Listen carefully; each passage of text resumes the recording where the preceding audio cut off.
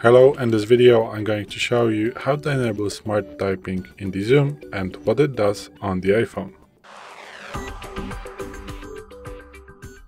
So, today in front of me is the iPhone 12 with the iOS 17.4 but it really doesn't matter which iPhone you have, it is all going to work the same on all the iPhones and all the versions of the iOS. So let's open the settings, then let's go to the access accessibility as you can see right here it is.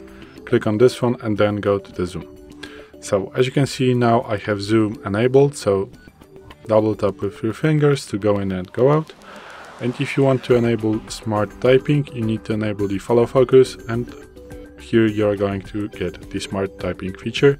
So click this on. And what it does I will show you in a moment. Maybe turn it off right now.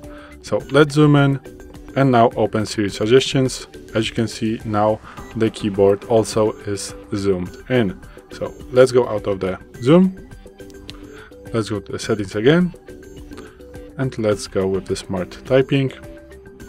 Again, zoom, open Siri suggestions. And now as you can see with the smart typing, once you hit the place or open the app, when you are uh,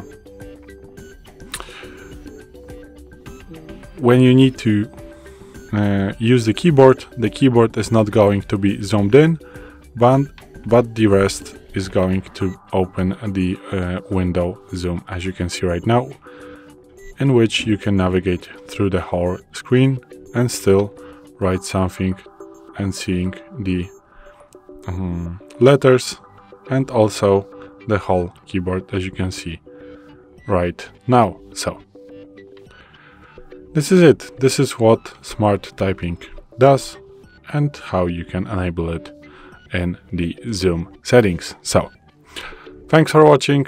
I hope this video helped you. If it did, please leave a like and consider to subscribe to our channel. Bye!